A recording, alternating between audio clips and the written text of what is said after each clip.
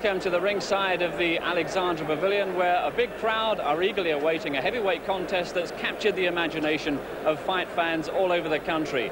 Marvis Frazier, the son of the former world heavyweight champion Smoking Joe Frazier, against the unbeaten Funso Banjo, who tonight aims to show Frank Bruno that he's the best heavyweight in Britain at the moment.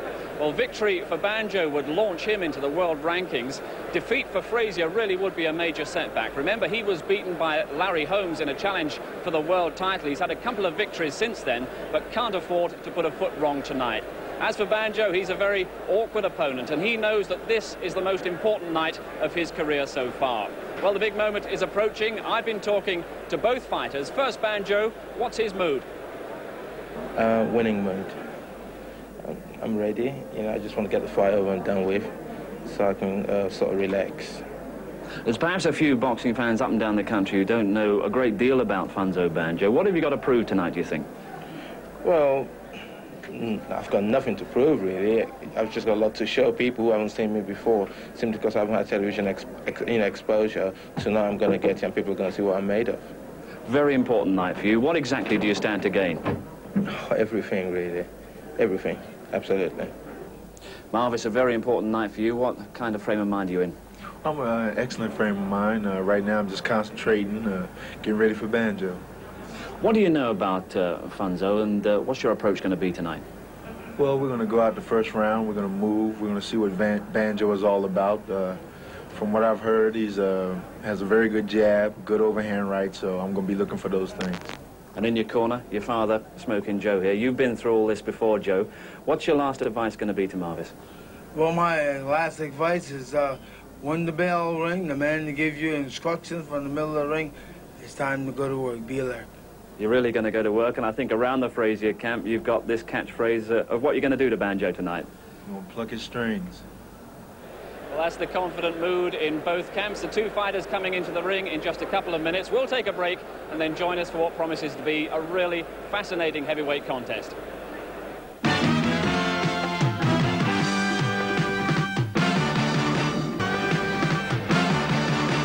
The big fight, it's Marvis Frazier versus Funso Banjo. Our commentators Jim Watt and Reg Gutteridge. So there's Marvis Frazier now and the family pushing their way through the crowd here at Alexandra Palace Pavilion. And of course, cousin Rodney had a win in Gateshead. Marvis says he's enjoyed his training here. He's a dedicated lad. But he's got to give weight quite a bit of weight tonight. And you'll see the, the former great man himself, Smoking Joe, somewhere. There's Rodney, the cousin, also a heavyweight, in my opinion, could go on to be world class, but hiding the face there, but for no apparent reason, of course, but just not to be distracted. There he is, Marvis Frazier, son of the man.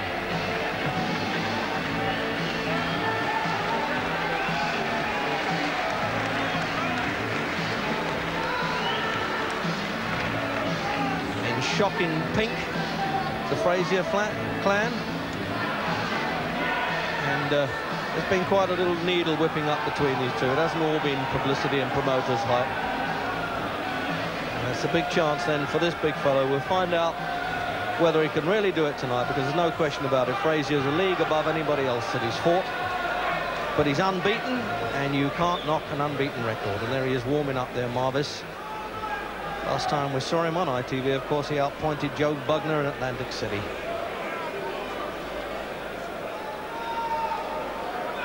There he is. Big shoulders indeed, isn't he? You can see unbeaten in 14 fights. 15 stone, 7 and a quarter.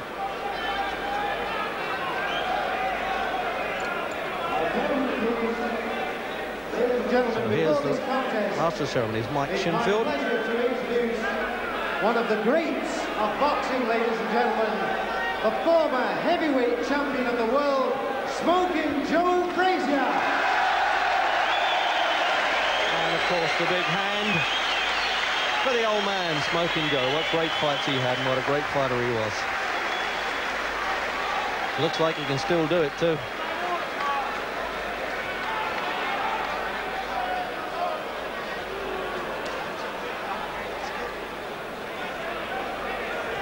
Now, gentlemen, please.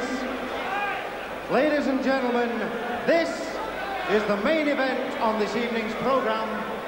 Frank Warren presents an international heavyweight contest of 10 three-minute rounds between, in this corner, ladies and gentlemen, from Walthamstow, Funso Banjo. They're certainly getting his share of support there, Funso. And from Philadelphia, ladies and gentlemen, Marvis Frazier. Well, we can see which way the crowd's going. Banjo scale 15 stones 7 and a quarter pounds. Frazier 14 stones 8 and a half pounds. The referee for this contest, Mr. Harry Gibbs. Timekeeper, Mr. Ray Rice. And it needs a heavyweight referee here, Harry Gibbs, to handle these guys and keep them in order. Handled World Championships, of course.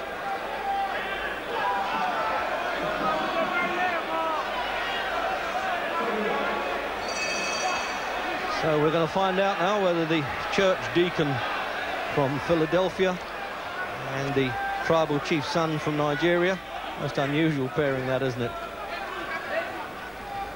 Whether Funso Banjo has managed to get along without fighting anybody really potent and whether Frazier can overcome the big man. He's, he gave away 40 pounds to James Broad, a top-class heavyweight who incidentally knocked out Bone Crusher Smith. And uh, that was a good performance by Frazier to outpoint him. And again, he gave a lot of weight away to Joe Bugner, of course. But as I said, you can't knock an unbeaten record. And who knows whether Banjo can just drop a punch on the chin of this fellow who's now getting into the world rankings again after the disaster with Larry Holmes. But even so, he was still actually on his feet in that fight, Marvis Frazier, when he was taken out in the first.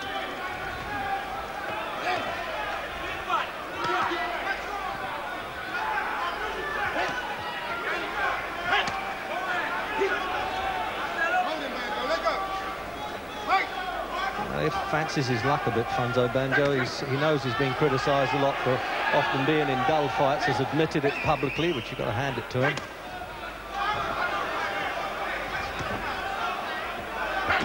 He's punching hard enough, I tell you that, and Frazier's walk-in style's made for him.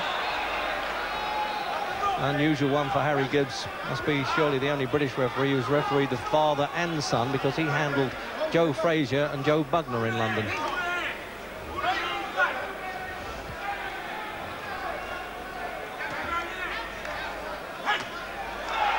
He's making enough noise as he throws a punch there, Banjo. Might be actually tipping Frazier off when the punch is coming.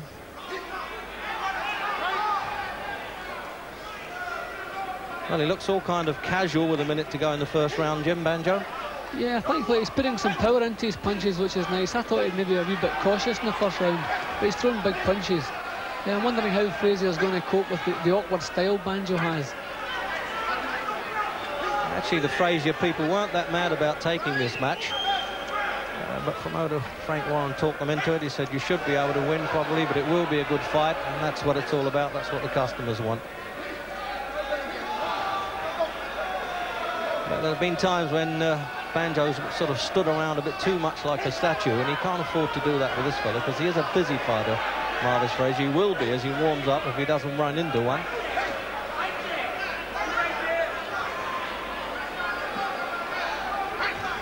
Oh, that was the one that got away, almost broke the lights, that one.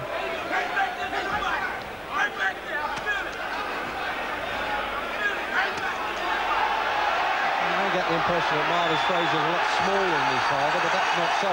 Right on the bell, he was, he was clubbing at the end of the round there, Jim. Yeah, but it was a good enough round for Banjo. I think he'll be quite pleased with that. that that's a good opener.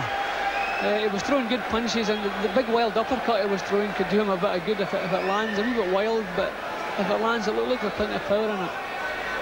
He almost got knocked over by the wind of that punch missing. It really was a swipe. So there's the rundown from Marvis Frazier. Then the only one he's lost, of course, was to Larry Holmes, which was the International Boxing Federation version of the championship at the finish because uh, the WBC, WBA didn't go along with that one. And there's the old man saying, this is how I want you to do it. If only you could fight like Dad, he'd be okay. Very disciplined lad, actually. And there it is there. Funso Banjo, as I said, son of a chieftain from Nigeria, who was educated public school in Scotland. Second round on these very old-fashioned corner stools. In fact, they're so comfortable, I may want to stay there. Harry Gibbs saying when I say break, stop holding on or punching on the break and break clean. It's always good to assert a bit of authority early on there, referee. Coming back from refereeing a fight in Japan, Harry Gibbs, last weekend, the World Championship. So now let's see whether Frazier can bustle into this big man. Instead, he gave away a lot of weight to James Broad and Joe Bugner.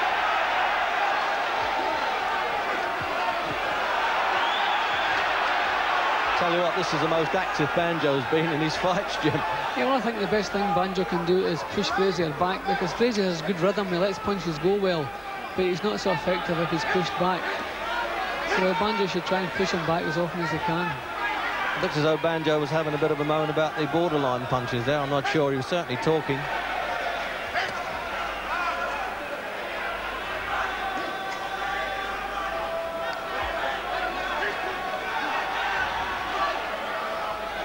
Doing the right thing, laying on there, trying to tire Frazier a bit.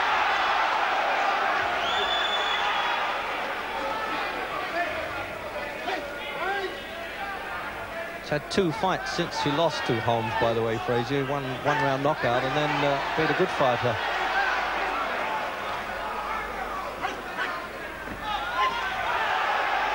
Oh, he's leaning on there, almost breaking his back with that. And certainly Frazier's had a bit of a problem. He had a pinched nerve in the neck and he's got a rather nasty scar where he had to have the operation, kept him out for over a year.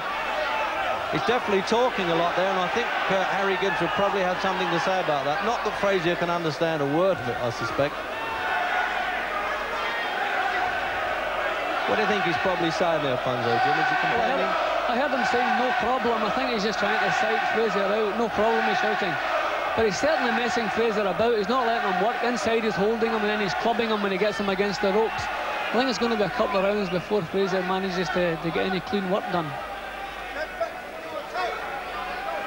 He's getting a bit uh, argumentative with him now, the referee. He says break when you're told and means it.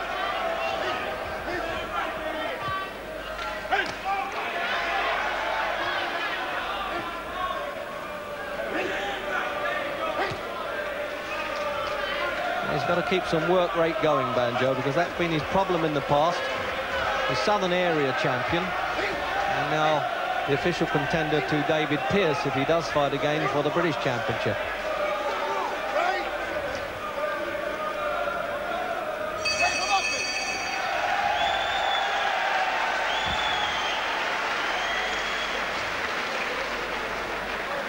So there's uh, Marvis Frazier then, 24, and his brothers are really jumping up and down outside there. Rodney, the cousin, and young Joe. Um, and Joe Frazier really gives them the full treatment between rounds. He's got a couple of English seconds to help him, Mick Williamson and Ernie Fossey. But he's there's a great bond, of course, as you would expect between father and son. As you say, OK, do this, do that. OK, Dad, he's saying. He calls him Sir quite frequently, which I always find great.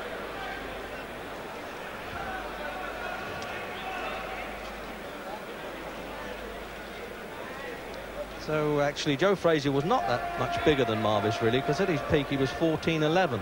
And uh, this coming at 14 8 and a half. Round three. Round three, scheduled for 10, this heavyweight clash.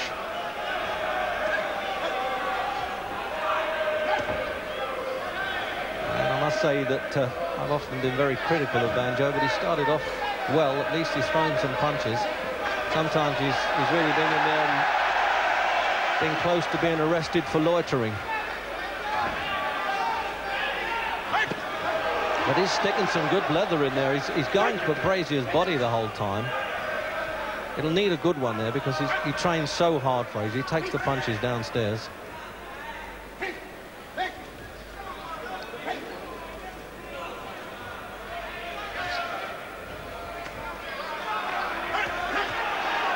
Still going square on Frazier isn't he? He's running into shots, but he's also starting to get through.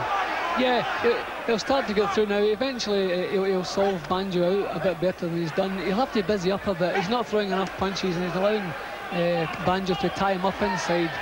Banjo's not allowing him to work. He's grabbing his hands all the time when they get up close. But I think eventually, Frazier, a little bit of class will come through.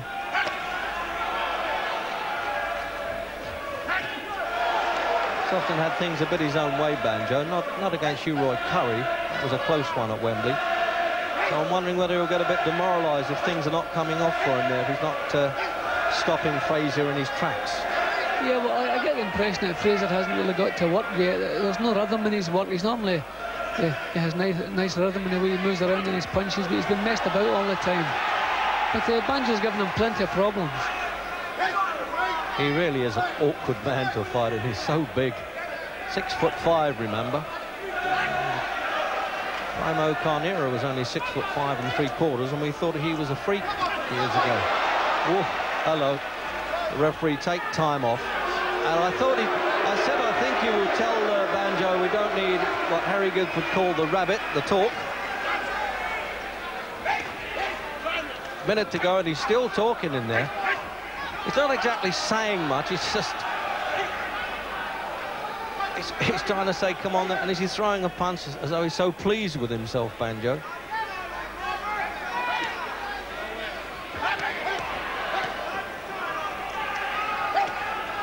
I dare say the referee will visit the corner at the end of this round and remind Banjo that only he does the talking.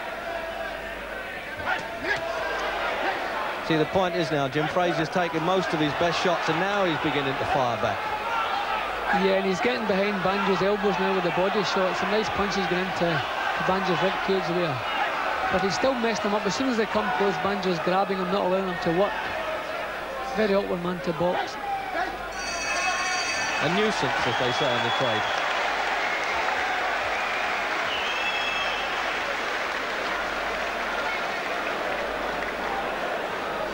Well, he's looking very calm and collected there as his trainer rubs him down there, Funso Banjo. As I say, he came to London uh, and then went to Scotland when he was only 11. Had three wins in the first round, a third round, and one in the first. But of course, they didn't measure up at all to class of Frazier. They, this fellow's been dogged a bit like a flu carrier, really. No, nobody fancies fighting him too much. And there goes Harry Gibbs now, going over to the corner, as I thought he would, and say, listen, you know, behave yourself, I'll do the talking. It's a good contest without you having to do that. I'm sure that's what he said. So back to the lecture. You'll notice that the, the English seconds there are not saying anything. They're leaving it to Joe, who would argue with him. Fourth round.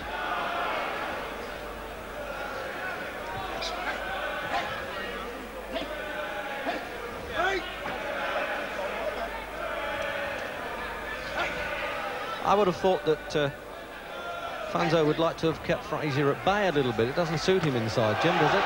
No, it doesn't. The Banjo landed a good right hand on the chin, but didn't shake Frazier at all there. I wonder how that will affect him. But he's just tying him up all the time.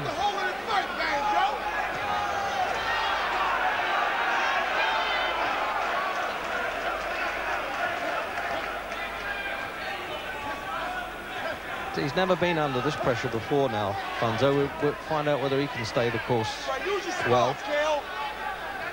Use your smarts on it. Kind of that jab with right hand over the top. Right hand should have been gone, Marvin.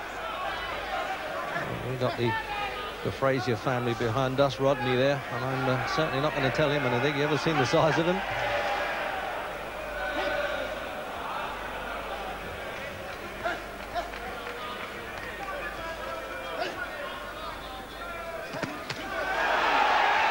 So often, uh, certainly the people at the back of the hall here, encouraging Banjo when he opens up with a few shots. But there he goes. He's, he's completely, completely staying on top of him, Frazier.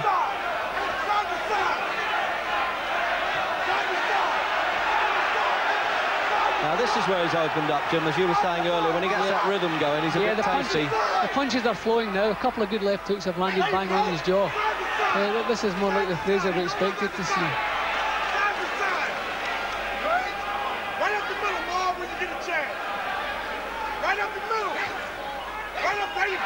So right up the middle, Frazier is saying, his cousin to Marvis, punches right inside those long arms, if he can, of Banjo. He's sinking those now. He's going to warn him for that one. He's quite right. And I think Marvis agreed with that. And uh, little sporting chuts there, but that armistice won't last long.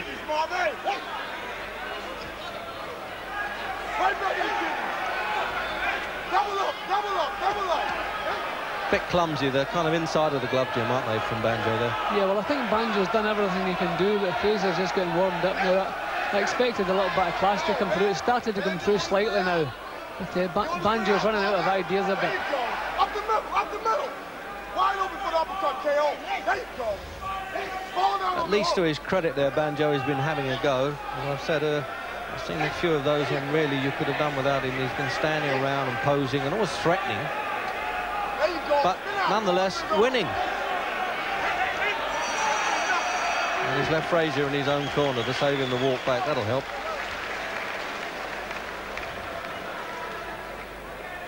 These American fighters normally take time to work into a fight, Jim, particularly this type of fighter.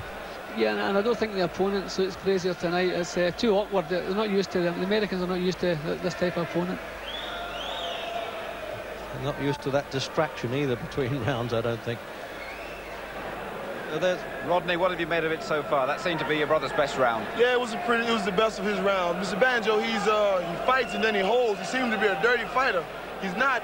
Every time he throws the uppercut, they thinking it's getting through, but Marvis is catching those uppercuts on his arms. He wasn't getting off in the first two rounds, but this round and the last round, I give the Marvis pretty close. If he just keep banging on Banjo in the body, by the sixth round, he should be on his way out. Seconds out, round five. Into the fifth round. And uh, I must agree with Rodney there. Marvis is sort of warming up to it now, right, putting them together. And having taken Banjo's best shots, I'm wondering whether he's tending to perhaps demoralise the big man. And he certainly jarred his head back with that left hook.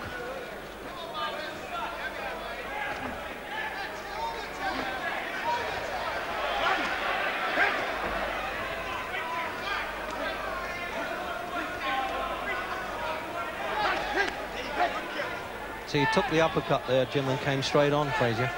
Yeah, well, Frazier's getting into range, but he's taking too long to get his punches off, and he's allowing Banjo to grab hold of him.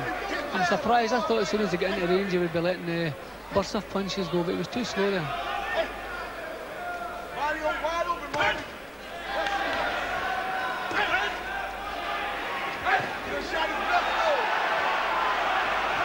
Well, he's laid some right hands in there, Banjo. Some of them must hurt. They're not always delivered with the inside, but when he does, they, they crack on a bit. Got a very big fan club, always been a good ticket seller. thing is, Frazier always knows where Banjo's head is, Jim, doesn't he? He can always sort of keep his head down and then whip that left hook, knowing the fellow's got it stuck up there like a bit of a weather vane. Yeah, well, uh, the tall heavyweights suit the Americans. They can throw the, the hooks over the top. It's not been a great round for Frazier so far. He's coming into it better now. He's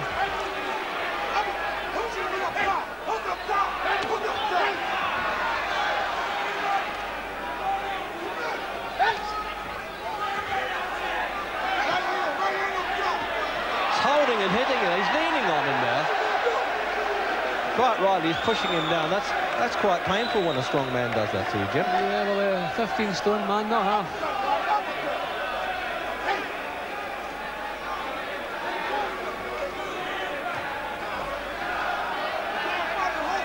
Still like to see Banjo keep it a bit more at long range. He's got more chance that way.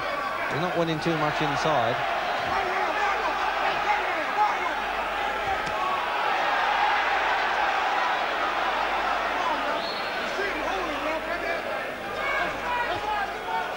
Half a minute to go then in this round.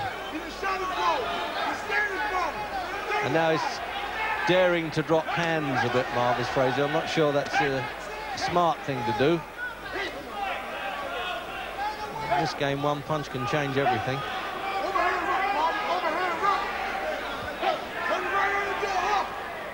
Started to really slow a bit now, I think, Banjo.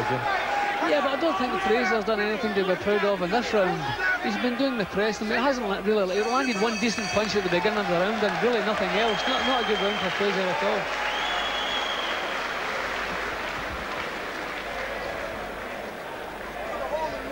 Well, there don't seem to be any uh, problem in that corner. They're all looking calm and collected with uh, Funso Banjo. Eddie Byrne on the outside of the ropes there has worked with a lot of good class fighters. And hopefully that uh, staunching pad there won't, uh, won't be needed for any cuts because I shouldn't think that would happen. And uh, old Joe really getting quite excited in that corner now and trying to calm the lad down and say, let's do it this way, let's do it that way. Must be There must be times when the old champ says, I wish I were in there doing it for you, son. He didn't encourage, actually, Marvis Frazier to fight. Uh, I mean, son of a millionaire, who'd want to fight? But this, this lad wanted to do it. Round six, both final seconds hanging on to those stools as long as they could.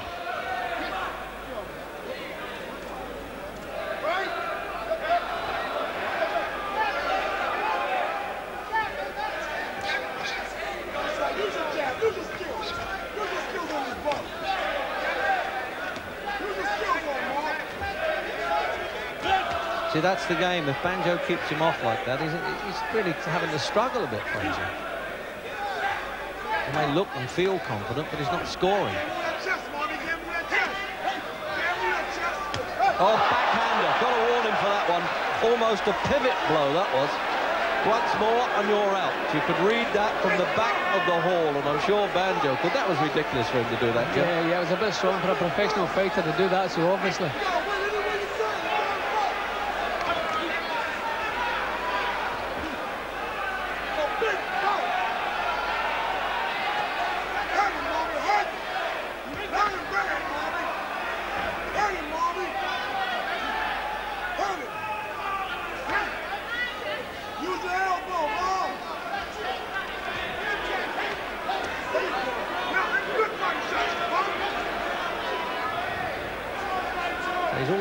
Tuck himself inside those awkward arms of Banjo there, Frazier, trying to work to the body. And while it's a very big chance for Banjo, it, uh, it really puts Frazier out of all reckoning if he loses.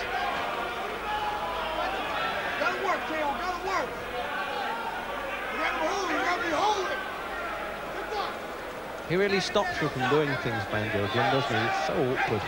Yeah, he's awkward to box. He, it's, see, it's difficult. He's mentioning Frazier about all the time, but you couldn't really call it scoring what he's doing. He's holding and cuffing and pushing around. He's making it difficult for Frazier, but as I say, it's difficult to get to score him points for the work he's doing.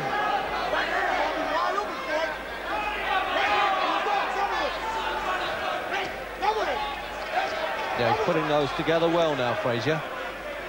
But he hasn't backed off, Banjo.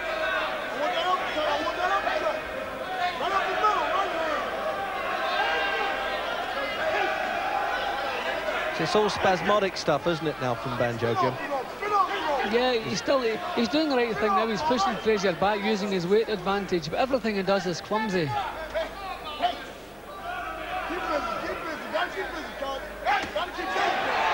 think that right hand uppercut looks a bit more effective from the back of the hall. Well, I hope he doesn't have to disqualify this fellow because he doesn't deserve that. I mean, he's, he's contributed to his downfall if he does. I've never seen one disqualified for pushing the man down, Jim, before.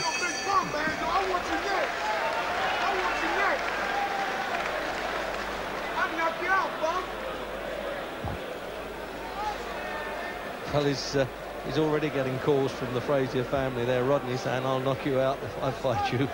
But I don't think he's interested in that at the moment. I think he's uh, more interested in taking care of Marvis. Have a look at some replay there now. See, there's, and you see the back of this backhand coming in now, I think, from the... back. There it is, look, a mile away. I mean, you, he did not, he didn't send a, a telegram with that one, it was a postcard. Round nine, scheduled for 10.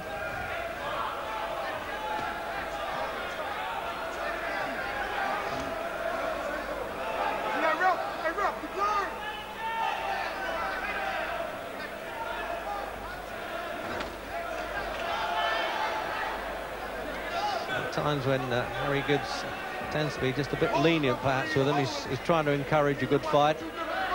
And then, of course, he really lays into him with a bit of heavy referee's verbal when needed. But obviously the, the visitors, as they say, they might have a moan about that.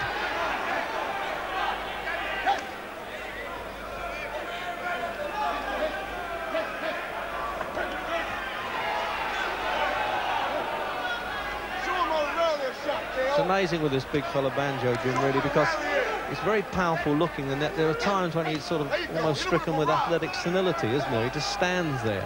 Yeah, he, he doesn't have any rhythm in his punches. They're just clubbing swings, really. He's only swinging. He's not punching from the shoulder and the hip. Well, the crowd like that, and Frazier does it. As you say, they're more or less arm strength, aren't they? Yeah, they're just swinging, clubbing punches. They're, they're not, not properly delivered.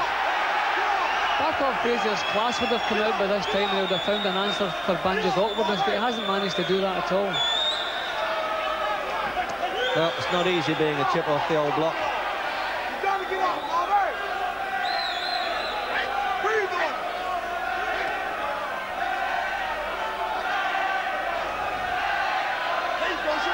Banjo getting a bit of encouragement now, a bit of chanting.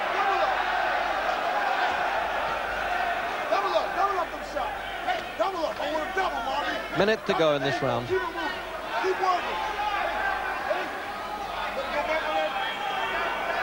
wonder if he's saving it for the last banjo. He's opened up a bit more here than he did early on.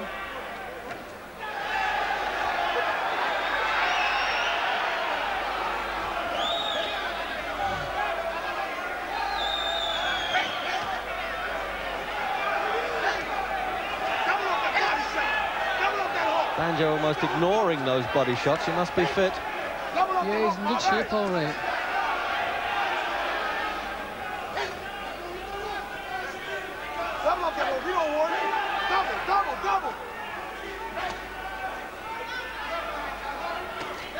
Trouble is those flurries of banjos are nullified by the combinations that Frazier puts together afterwards. They're not powerful punches, but they're always in there nagging away.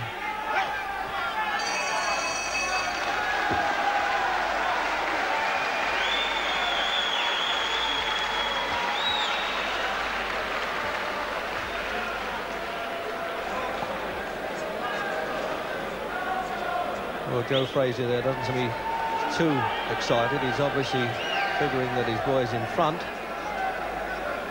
But, you know, fighting away from home, as they say, you could never take chances. You've got to go in and really convince that referee. No judges, of course, for this one. Let's have a look now at the replay now. You see, he's not bad with those. He's, he's still cuffing a little bit. And that's very tiring for Frazier as he goes in and he just leans on him, the big man. But that sort of power, you really would have thought he could have dropped Frazier by now. At least stopped him in his tracks and sent him back. Seconds out. That's a big man. Tenth and last round. So tenth final round, and Harry Gibbs calling them to go through the formal touch of gloves, almost like the pleasantries that are exchanged before you get in the dentist chair. And the crowd really lifting them at the Alexandra Palace Pavilion.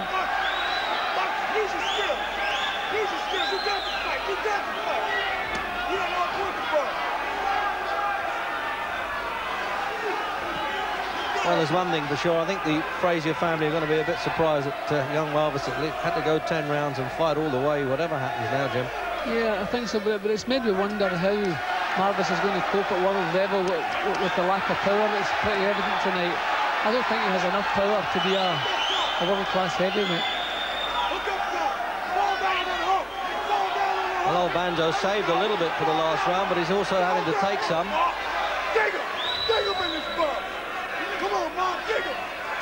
He really has sunk those left hooks to the body, Frazier, the whole time. But he, he really, even close up to the ring like this, Jim, he hasn't flinched too much, Banjo. Yeah, Frazier's never managed really to upset him. He's never hurt him at any time during the fight.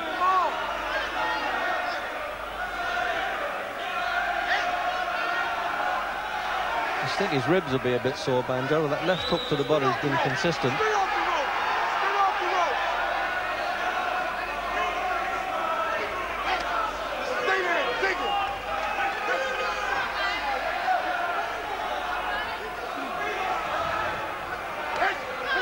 Banjo could sustain his punches a bit, Jim. They're all in spurts, and then he stops and has a breather or tries to while the other fellow gets on with it. Yeah, it doesn't work enough. All the pulling and shoving and hauling, I think, is taking a lot of energy from Frazier. Frazier's looking pretty tired as well. There's not any snap in his punches at all. Minute to go.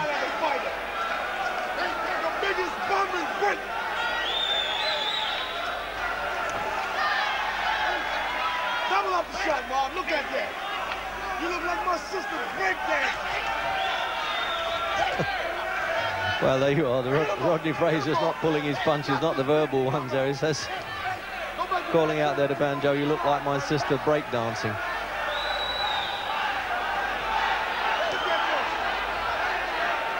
Thirty seconds. And still, of course, without knockdowns. And looks as though it might be a bit too late then anyway, but uh, neither of them really look like scoring the knockout.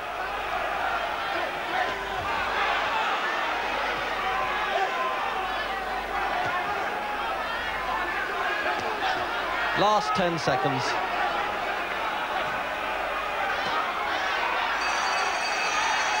There it is. Frazier is the winner. Just sheer effort, volume of punches. A bit of booing from the back of the hall, Jim, but I think he had to give it that way. Yeah, No well, any, any clean boxing we saw came from Frazier. You can't really argue. Banjo never really had a round where you could say he definitely won it, but Frazier had three or four where you could say, yeah, well, he certainly won those rounds. So I think that's a fair enough decision. And there's Rodney. Actually, his cousin. He's uh, Joe Frazier's sister's son. And that's Bert Cooper, an 18-year-old heavyweight behind Frazier that's worth watching. Has already had a one-round win here. And that's Little Joe, the lightweight, who fought Peter Eubanks and lost to him on World of Sport. Well, it's all friendly at the finish. Fair dues from Funso. He came to have a go. He put a lot more energy into it than he has in recent fights. And now Rodney's taunting him that I wouldn't mind fighting you next. And I think he means it. There's the old man now. What a good picture that is. I tell you, the Fleet Street boys would be popping away at that one. They'll like that. My boy's done it Ladies and again. gentlemen, the referee scores the contest. Banjo, 97 and a half points. Frazier, 98 and a half points. Well, he's won it by a full point, which is two two rounds on my card, Jim, that right? Yeah, that, yeah that's right. and that's about fair enough, I would think.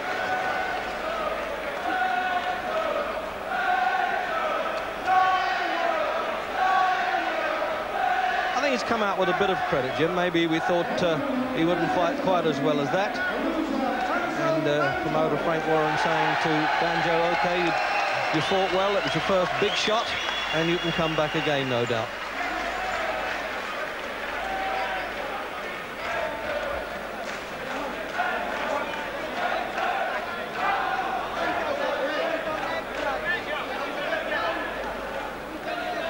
So there they are then posing for the friendly pictures after the battle.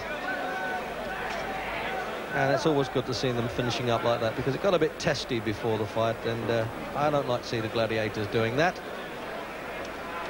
And uh, here's Jim Rosenthal then, talking with Frazier. Marvis, Marvis, what was your verdict? I won the fight. I plucked his strings. Were you happy the way you finished the fight there, or would you like to Oh, have done it a bit quicker? Well, Banjo's a good fight. I can't take anything away from him. He was hard to hit, hard to catch. And uh, that's the way the fight turned out. The main important thing is that I won. Right, we heard your brother Rodney saying that he reminded him a bit of your sister breakdancing. That might be a bit of a slur on you not putting him away earlier. Well, like I said, Banjo's a good fight. And once again, I'd like to thank my Lord and Savior Jesus Christ because he gave me the victory. Good, okay. Well, Joe Frazier, let's bring in Joe here. Joe, were you happy with your boy's performance tonight, or do you think he should have uh, ended things rather sooner? Well, uh, Banjo's a, a very uh, clever uh, fighter. You know what I mean? Uh, he keep pulling back on shots, and uh, he's no he's no dummy. He's very smart. I see what he's doing. The body shots, I like to see him taking my little harder with the body shot, but therefore he was hunting me with back, pulling back with a lot of shots. Do you occasionally look across at a fighter like Banjo and wish your son had a physique like that? Yeah, that would be great. You know I mean? I, he should, well, if, once he leaves the fighting world, he can always go to modeling part. Do you think that uh, Marvis can still go all the way and win that I think title? Marvis can go all the ways, no doubt about that. Uh, this is his second fight, and uh, he showed me that he can go the distance. I mean, we, we, this time we're going to look for guys. Otherwise, we're going to be working on different status of those guys and not out about boxing them. Just out dig in and work. Good. Thank you very much. Smashing to see you here. I'm sure you'll be back next year because you've all had a great reception in All right, Britain. thank, you. All right. Thank you. Joe, the two of you together, please.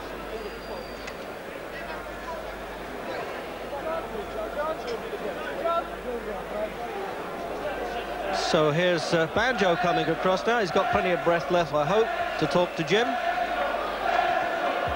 Well, so your, your first defeat, your, your first defeat, but our commentators gave you quite a amount of credit for your performance. What did you feel about it? Well, in my corner, they kept telling me I was ahead, and I believed I was winning the fight. But it just shows you, I feel really bitter, I must say. But it happens to everybody, you know. You live and fight again. Really, you were being told throughout that you were ahead. Well, yeah, they just said to me, just keep your boxing together. Don't try and knock him out. You don't get tired. Keep your boxing together and try and come in the last round, which I did try, but he's very fit. And, uh, you know, unfortunate for me, I lost. Are you then a bit surprised at the verdict?